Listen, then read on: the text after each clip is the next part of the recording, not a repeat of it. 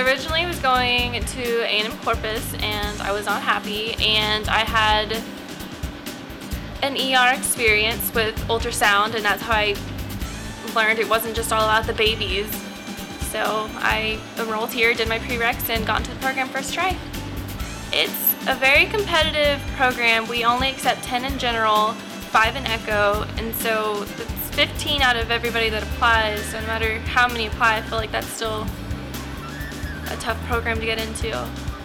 You have to know everything about the body. You have to know all of your anatomy, everything from the tiniest to the largest part. Um, how your blood works, how every you have to know everything.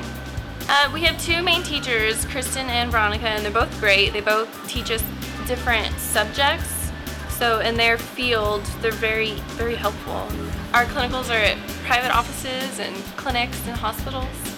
Um, we have classes, but I feel like I enjoy clinical more because you're out there and that's what you're going to be doing in your future.